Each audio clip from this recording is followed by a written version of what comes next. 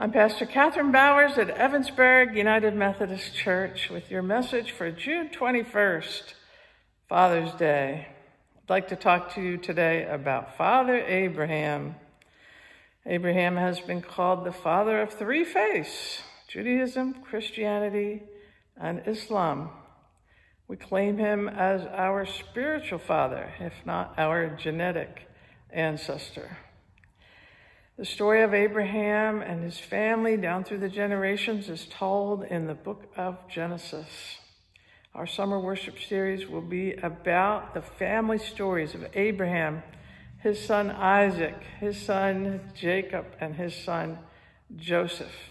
And if you think your family has drama, look at the stories of Abraham and his descendants. Everything is there the highs and the lows, the victories and the defeats, uh, faithfulness and sin, even crimes are committed, uh, jealousies, rivalries.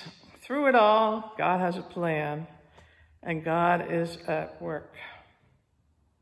When we meet Abraham in chapter 12 of Genesis, he is called Abram. His name will be changed later to Abraham. Abram lives in Haran. Haran is part of what they call the Fertile Crescent, a good place to live in the ancient world, a part of the Sumerian civilization, which was an advanced civilization. They had agriculture, they had um, trade, they, they had fine arts, and things were going well.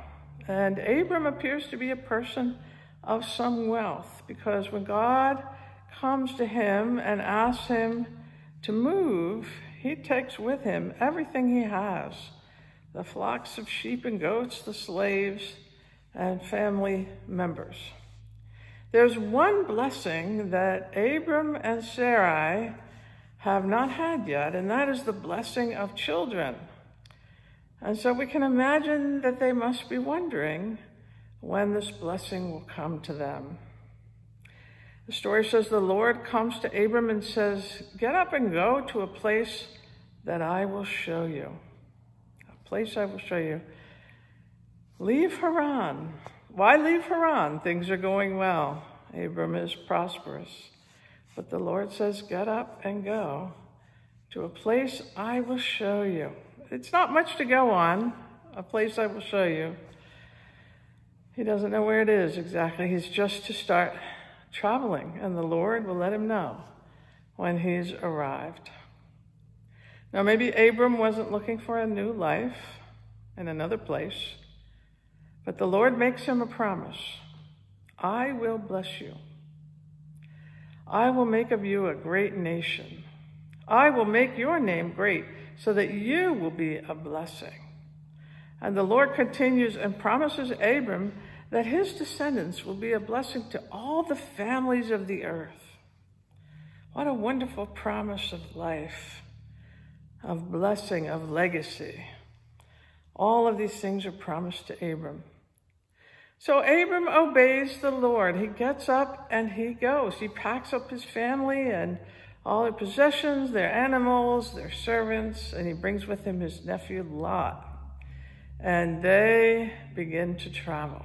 We have this picture you can imagine of this caravan of all these people and animals traveling. Go to a place that I will show you. From the story we have, it doesn't appear that Abram argued with God or asked 20 questions. I know I would have a lot of questions. A place you will show me. Where is this place? Does it have a name? How far is it? Is it a good place to live? Do they have good soil there? Do they have wells? Are there other people there?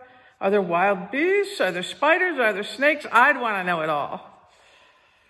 These days, when we plan a trip, we scope out everything. We go online, we look at all the pictures, you look at the room you're going to stay in. Before you leave, you even can know what color the towels are.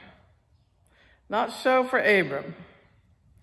Abram got up and began a journey because the Lord told them to. They packed up everything and they went. It doesn't mean that he might not have had some fears. Will this really work out? Will we run into robbers on the road? What if we get sick? What if we can't survive in this new place? What if the other people don't want us there? It was a risk for Abram to move his family and his possessions. When we look at the stories of great leaders of the world, you always find that they are risk takers. They are willing to do new things, to go to new places, and to take risks. They are willing because they have a goal in mind, they have a future in mind.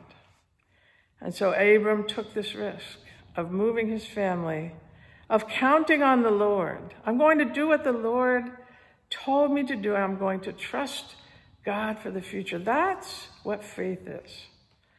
Faith is saying to yourself, Yes, I will do what God asked me to do. And even if that's taking a risk, and I will trust God for the future. Sometimes that takes a lot of courage.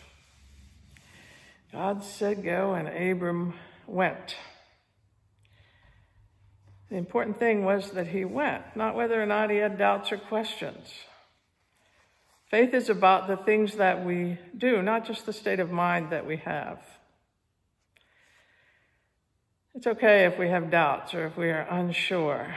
What matters is what we choose to do, how you live your life. I've presided at a lot of weddings as a pastor in my 30 some years as a pastor, and I find that oftentimes the bride and groom are very nervous about the ceremony. And you want them to enjoy it. We have this romantic notion that the ceremony will be beautiful and they will uh, be carried away by it. But honestly, sometimes they're just trying to get through it and they are too nervous to enjoy it. So this is what I tell them. It doesn't matter if you're nervous. The important thing is that you got yourself to the altar. And when you leave, you're going to be married. And that's the act of love. That's the act of faith that you came. So don't worry about being nervous. It's what you do that matters. Faith and love are evident in the actions we take and the choices we make. God may very well call you to do a new thing or to go to a new place. Or maybe God will not call you to go to a new geographical place.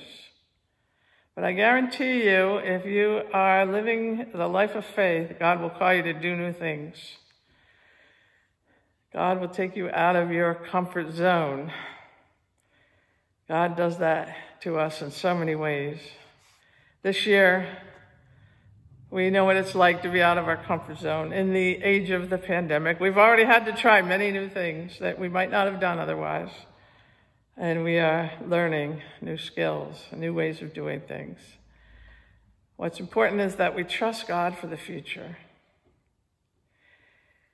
Abram and Sarah have these promises from God now, and they will hold these promises for quite a long time before they see them fulfilled. Abram and Sarah get up and they go and they travel to the land of Canaan and they stay there for a while. And if you're reading the story and you know how it comes out for Abraham and Sarah, you're thinking they've made it. They got there. They got to the place that God wanted them to go. Let the, let the promises be fulfilled. Let the good things start coming. But it doesn't work out that way. Actually, the road to success is not a straight line, as it almost never is. And they will have side trips, and they will have problems, and they will have obstacles. We're told later in chapter 12 of Genesis that they are in Haran, uh, excuse me, Canaan for a while before there's a famine. And they have to leave Canaan and go to Egypt to survive, to find food. And they have not had any children yet. And they will start to wonder if God is ever going to keep these promises because they're going to have to wait for a while. If you're reading in Genesis 12 and you keep reading, you have to get all the way up to chapter 18 before you get to the birth of Isaac. A lot of things happen in between.